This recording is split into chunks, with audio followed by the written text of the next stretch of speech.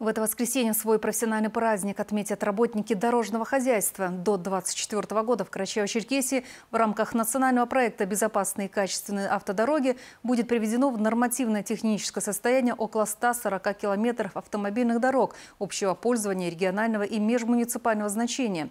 Продолжается реконструкция дороги федерального значения. В преддверии Дня дорожника наша съемочная группа отправилась на один из участков федеральной трассы возле поселка Иркин-Шахар, где в эти дни кипит работа. Репортаж Альбины Ламковой.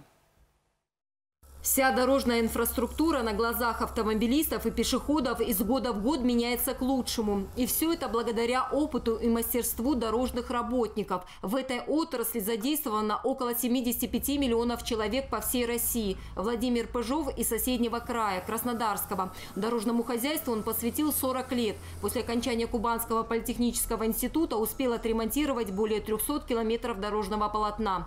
Рабочие поездки для Владимира Петровича – дело привычное важное. Но как бы далеко не находился он от дома, всегда думает о детях и особенно о внуках. Они понимают, что дедушка делает, старается для них и для всех таких же внучат, как у меня.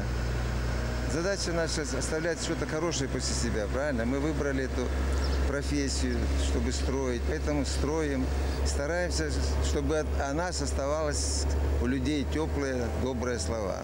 У дорожников трудовые будни начинаются, как говорится, ни свет ни заря. 12-часовой рабочий день. Работа сложная и посменная. Сдав вахту и набравшись сил, вновь приступаешь к любимому делу. Дорога словно лента жизни. И тоже хочется видеть ее бесконечной и красивой. А для этого нужно приложить немало сил. Бывает и в знойные летние дни, когда градус превышает норму, ремонт ведется ночью, признаются дорожники. Для того, чтобы выполнять всю нашу работу качественно и в срок, мы выходим тогда, когда это нужно на работу. Мы не смотрим на погоду, мы не смотрим на все.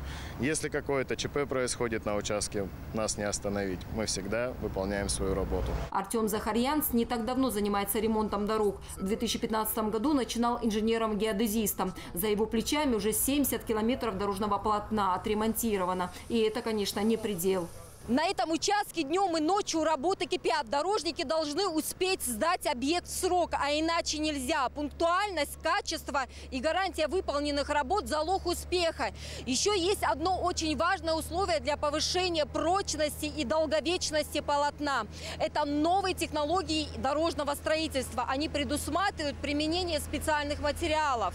На объекте проводимых работ предусмотрена вся необходимая техника. Соблюдаются все меры безопасности, выставляются предупредительные знаки, что ведется ремонт дорожного полотна. Сплоченный дружный коллектив в любую погоду трудится для того, чтобы дорога была комфортной. Для того, чтобы получить максимальное качество, а, ровность дорог, а, мы применяем все силы, которые только имеются в нашей возможности, все современные технологии, новшества, то есть как бы адаптивная система 3D, и про, просто человек, человеческий фактор исключается абсолютно для того, чтобы сделать максимально ровные дороги. Людей этой сложной, но необходимой профессии объединяет одно – безопасность участников дорожного движения. Александр Васильев большую часть своей жизни находится за рулем, и он уже оценил отрезок отремонтированной дороги. Ребята открыли уже примерно 2 километра, наверное, дороги. Там идеальное покрытие, просто мне очень нравится. Еду кайфую даже, можно сказать, улыбаюсь вообще. И для машины прекрасно, и э, нам, водителям, это тоже очень хорошо, так скажем. У дорожников выходные праздник. Что вы можете пожелать? Ой, желаю успеха вообще во всех начинаниях, чтобы все дороги строились. И вообще удачи по жизни всем и каждому дорожнику. Альбина Ламкова, Мухаммеда Шибоков, Вести, Карачаева, Черкесия.